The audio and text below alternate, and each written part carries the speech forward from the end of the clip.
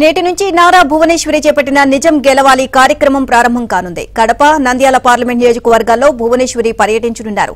Chandrababu arrest సమయంలో మనస్తాపానికి గురై మృతి చెందిన కార్యకర్తల కుటుంబాలను ఆమె పరామర్శించనున్నారు. మొత్తం పన్నెండు మంది కార్యకర్తల కుటుంబాలను ఓదార్చనున్నారు. నందికొట్కూరు పాణ్యం శ్రీశైలం నంద్యాల డోన్ పొరుదుటూరుతో పాటు కడపలో మృతుల కుటుంబాలను భువనేశ్వరి కలుస్తారు. భువనేశ్వరి పర్యటన నేపథ్యంలో పార్టీ వర్గాలు భారీ ఏర్పాట్లు చేశాయి.